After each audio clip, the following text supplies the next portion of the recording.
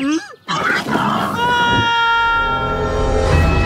Pas une fois je ne me suis même tordu la cheville. Pas une fois À partir de maintenant, je ne dois plus être le seul à connaître la formule de la potion magique. Quoi Je vais donc partir à la recherche d'un jeune successeur à qui la confier. Quoi Catastrophe, Obélix.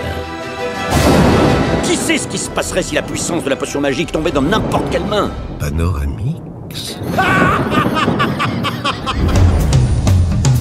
Avez-vous en tête la liste des jeunes druides gaulois bien cotés? Je crois qu'on a des petites fiches. Des petites fiches? La petite fichette maison. Impeccable Impeccable Là, j'ai les super nuls. Ceux-là, ils sont pas fichus de faire une soupe à l'oignon.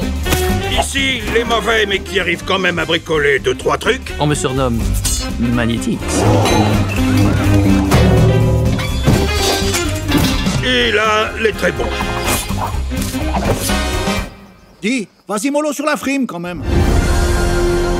Ave César, cette potion, je te la donnerai. La potion des dingos? Quelle est cette manigance, Sulfurix Ce soir, c'est la fin du village de crétins moustachus, la fin d'Astérix Je verse ça là-dedans. Tu te prends pour un druide Je vois pas pourquoi ce serait plus dur que d'être poissonnier.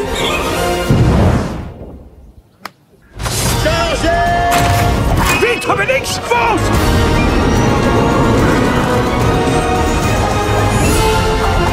C'est quel barbu qu'il faut taper Pourquoi t'en mets de ça Tu sais bien ce que ça fait chaque fois. J'ai modifié Si à 10, ça n'a pas explosé, c'est que c'est bon, ça explosera plus. Prêt? Si t'es aussi bon druide que poissonnier, il va y avoir de la performance. Alors, qu'est-ce qu'il raconte le gros lardon? Il ferme un peu son caca là Tu veux faire le show avec moi? Ah, bah oui, c'est fini là. Oh non, moi je pense que je devais être sur la fin, fin, fin. en fait.